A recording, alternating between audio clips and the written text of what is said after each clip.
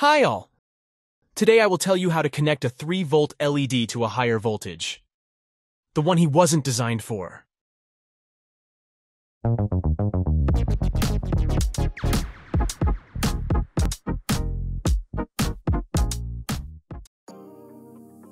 I think many people know that if you connect an LED to a higher voltage, it will burn out very quickly.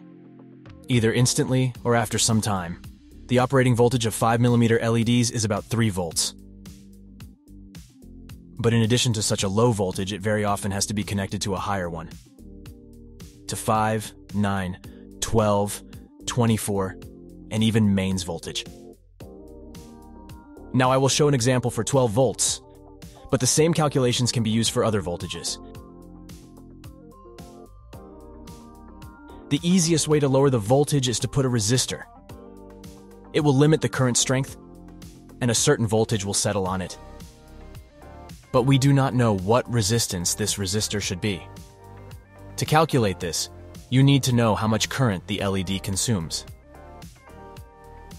Information about how much current an LED consumes can be found on the internet, or you can measure it yourself. From the power supply, I now applied 3 volts, and it turned out that the LED consumes 13 milliamps. If the voltage is raised further, then the brightness does not increase much, but the current consumption becomes very large. With such a large current, the LED begins to noticeably heat up. In this mode, it will work, but its life will be greatly reduced. Therefore, it is better to take a working 3 volts.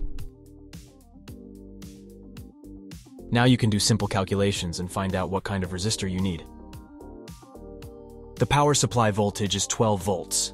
The LEDs are 3 volts. Subtract 3 from 12 and get 9 volts. This voltage must be quenched by the resistor. Then we take the current consumption of the LED, 13 milliamps, and convert to amps. It turns out 0.13 thousandths. Then we divide 9 volts by the current strength, and we get 692. This will be the resistance of the resistor.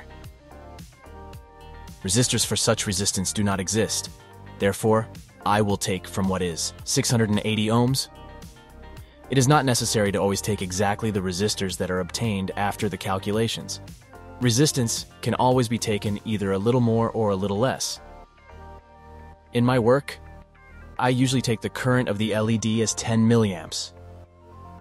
The brightness of the LED does not change from this, but the calculations are much easier to make. To extinguish 9 volts, you need a 900 ohm resistor.